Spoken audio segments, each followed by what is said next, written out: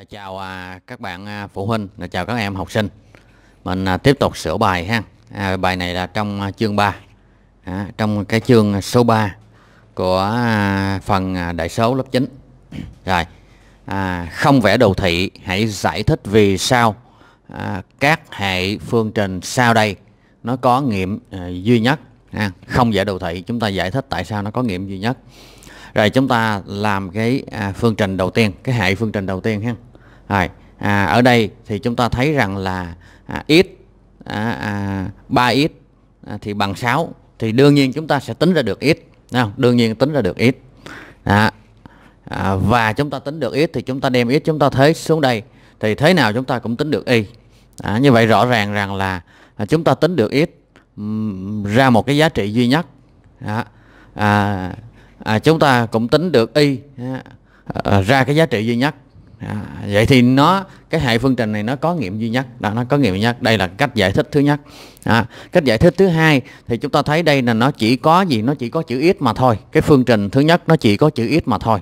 Và khi cái phương trình nó chỉ có chữ ít thì nó chính là cái à, đường thẳng song song với trục tung đúng không? À, à, phương trình nó chỉ có chữ ít thôi.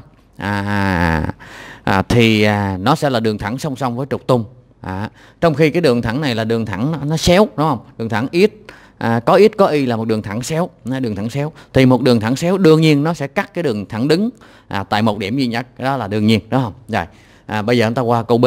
À, câu b thì chúng ta thấy rằng y à, à, phương trình thứ hai nó chỉ có chữ y mà thôi. Phương trình thứ hai chỉ có chữ y thì chắc chắn rằng là đây là cái đường thẳng nằm ngang. À, đường thẳng nằm ngang. À, đường thẳng mà chỉ có chữ y thì nó nó là đường thẳng nằm ngang. Trong khi cái đường thẳng đây có chữ x có chữ y thì nó là cái đường thẳng xéo. À, đường thẳng nằm ngang thì đương nhiên là nó sẽ cắt cái đường thẳng xéo tại một điểm duy nhất. Cái này không? Này là ai cũng hình dung ra được. Một đường thẳng xéo có thể xéo lên cũng có thể xéo xuống. À, thì chắc chắn nó phải cắt cái đường thẳng nằm ngang à, tại một điểm duy nhất. À, còn không thì chúng ta tính ra cũng được chúng ta tính ra y. Chắc chắn chúng ta sẽ tính được y. À, à, chúng ta chuyển vế là tính được y đúng không? Rồi chúng ta lấy y chúng ta thế vào cái phương trình số 1 thì chúng ta sẽ tính được x à, và chúng ta cũng chỉ ra cái giá trị duy nhất của y cho nên chúng ta sẽ ra được cái giá trị duy nhất của x. À, vậy chắc chắn là hệ phương trình này nó có nghiệm duy nhất. Rồi ở đây cũng vậy ở đây à, là cái đường thẳng à, này nó chỉ có à, nó chỉ có chữ x thôi cho nên nó là đường thẳng đứng đúng không? À, à trong khi cái đường cái phương trình thứ hai nó chỉ có chữ y thôi vì nó sẽ là cái đường nằm ngang. À, đường thẳng đứng thì đương nhiên cắt cái đường nằm ngang tại một điểm duy nhất mà thôi. À, rồi rất là đơn giản như vậy. Bây giờ chúng ta qua cái bài 2.2 đúng không? Bài 2.2 à, những hệ phương trình nào sau đây? Vô nghiệm. Rồi hệ phương trình nào là vô số nghiệm? Hệ nào vô nghiệm và hệ nào vô số nghiệm?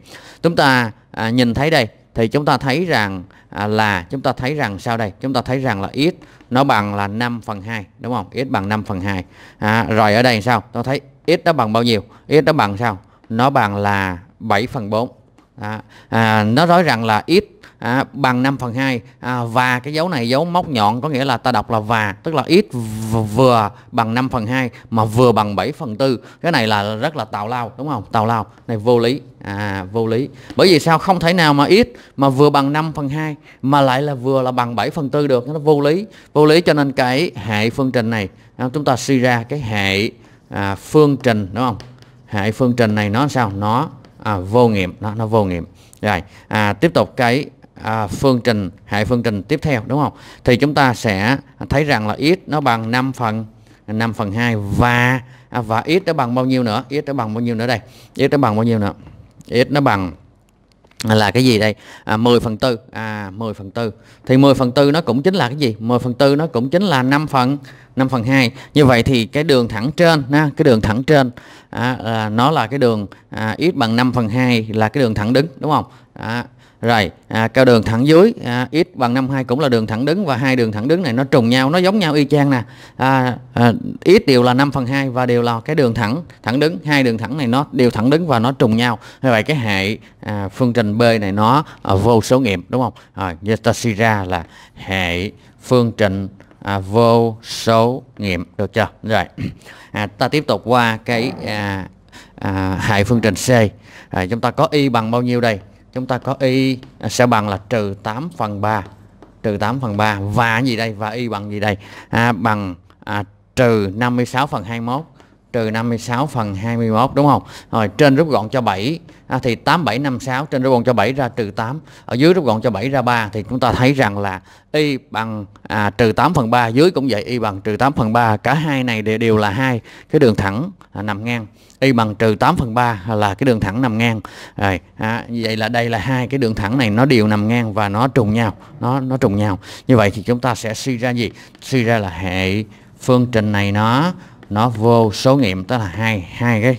À, tức là nó thành à, hoặc là chúng ta có thể hiểu rằng là gì? Hiểu rằng là nó thành hai cái à, hai cái đường à, y chang nhau đúng không? Hai cái phương trình y chang nhau. Tức là sau khi mà bạn biến đổi đúng không?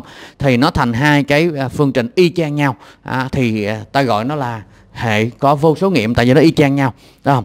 Rồi à, còn ở đây chúng ta biến đổi thì y nó bằng trừ 8 phần 3 trong khi ở dưới thì nó lại bằng là gì? Là trừ 50 ha, trừ 50 phần 21 và khác nhau. Trừ 50 phần 21 không có rút gọn được đúng không? Không có rút gọn được nha. Đó. thì cái cách rút gọn á, thì à, thật ra là các em học sinh đã biết cách rút gọn từ năm lớp 6 rồi. À, rút gọn phân số nha. Nhắc lại các em học sinh đều đã biết cách rút gọn từ khi còn là học sinh à, lớp 6 đã biết cách rút gọn phân số rồi. À, mà bây giờ à, lỡ xui mà mình học tới à, lớp 9 rồi mà mình vẫn không biết rút gọn thì đây rất đơn giản à, rất đơn giản. Chúng ta lấy cái máy tính chúng ta bấm. Chúng ta lấy máy tính chúng ta bấm là trừ 50 à, phần 21 chúng ta bấm coi à, là máy tính nó sẽ rút gọn dùm chúng ta. À, nếu như rút gọn được nó sẽ rút gọn dùm chúng ta.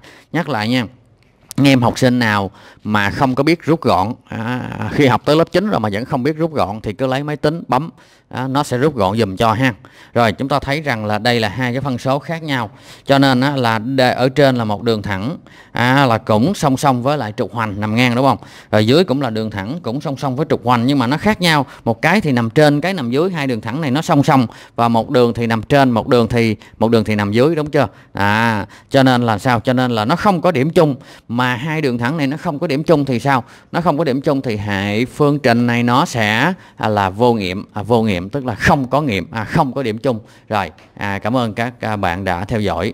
Chúc cho các bạn à, học được nhiều kết quả nha. Chào tạm biệt và xin hẹn gặp lại nha.